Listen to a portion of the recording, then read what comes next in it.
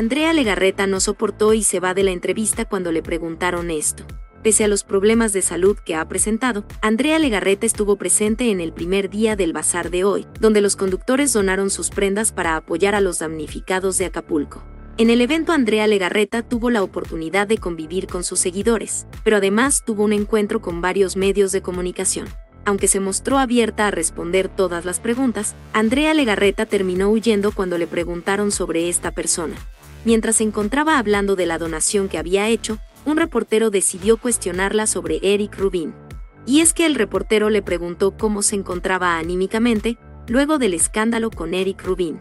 De inmediato, Andrea Legarreta le señaló que fuera más específico con sus preguntas y sobre a qué escándalo se refería. ¿De qué estamos hablando específicamente? Si no eres específico, muchas gracias, dijo Legarreta. Fue en febrero de este año que Andrea Legarreta